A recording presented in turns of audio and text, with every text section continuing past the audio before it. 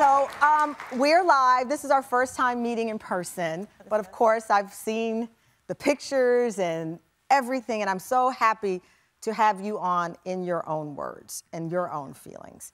Um, let's start off with the big one. Okay. Marcus Jordan. Uh, the dating rumors started in September. At the time, you said you guys were just friends, and then it was revealed when you said on Valentine's Day that he was your forever Valentine. Are you guys in love? Um, I think so. We're, we're in a really good place. Yeah. How do you I feel describe like, it? I feel like a lot of people think that we've known each other our whole lives, which we have not. Well, he's 16 years younger, so that's not possible. Yeah. So, yeah. Yeah. Well, I feel like we, we literally just met at a party um, four years ago. Oh, really? And we were just friends. because we we all lived in Chicago. And Yeah. When did you meet him? Four years ago. Four years- At where a then? party. At a party. I like an LA party. Did you know who he was at the time? Well, yeah, we we have a lot of mutual friends, and so we're kind of in the same circle. So we've been around each other for like the last four years. So you're at a party, and did someone introduce you? How did you connect? Yeah, we were um, at a party and they were like, oh, you know Marcus, Marcus Jordan. And I was like, oh, hey. And so we became friends. We both kind of grew up from, you know, we're both from Chicago. So I feel like we have a lot in common, like a lot of common ground, you know, like. Even with the age difference, and I don't say that. I don't want to say it flippantly because age difference, men get. You Yeah. know, able to date people 30 years younger in some cases without judgment. He's 16 years younger.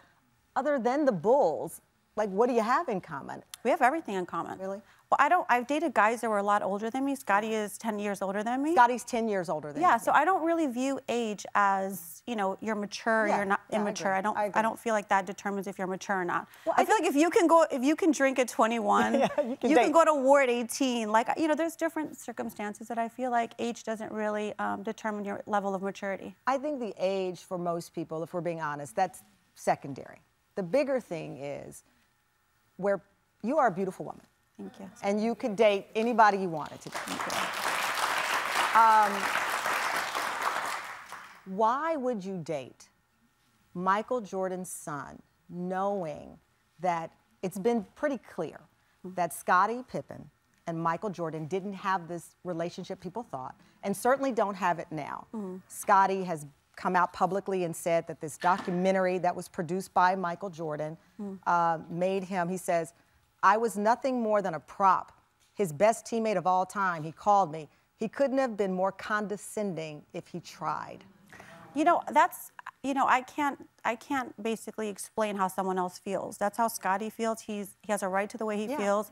I personally don't really care about what, you know, other people how he, you know, I feel like I live my truth. I'm happy. I feel like we get along. He's my best friend.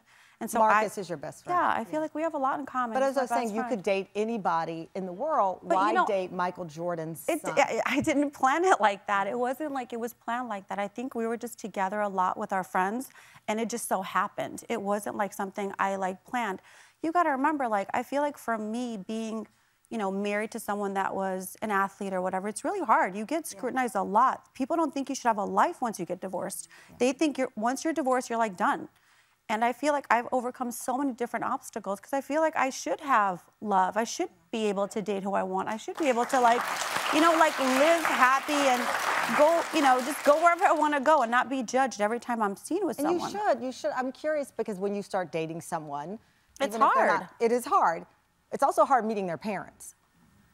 Have you met Michael Jordan and Juanita Jordan, and what did they say about the relationship? You know, I don't really. I mean, of course, I recently have met. You know, I've recently been hanging out with them, um, but I don't really want to talk about them. I feel like it's not about you know my parents or his parents. They're all happy. Our whole family's fine. I feel like it's more about like where I am, where he is. You know, I feel like we're in a great place. We motivate each other. We're really happy being together, and I feel like that's the most important thing. Well, I, I agree with that. I agree with that. Um, I, I, and I understand what you're saying because you are your own people. That said, he has a trophy store dedicated to his father. It's like a You sneakerhead. posted, yeah, sneaker, Yeah. But you guys posted a picture with the number 23 behind you. There's only one number 23. Right. You know, um, God bless, he walks around with those great Jordan shoes. That's his dad on there. So he can't run from who he is. Right. And when I married my husband, he met my mom. My dad is in heaven, but he met my mom before we got into a full relationship. Mm-hmm. It's normal for people to ask, how did his mom respond? How did his They're fine. respond?" Everyone's fine. They're cool with it. Yeah, everyone. I think like when you're an adult, I think your parents just want to see you happy. You know, my parents want to see me happy. His parents want to see him happy. So you have their blessing. Yeah, I feel like we're great. Yeah, I feel like we've you know we've spent holidays together and it's good. We're in a great place.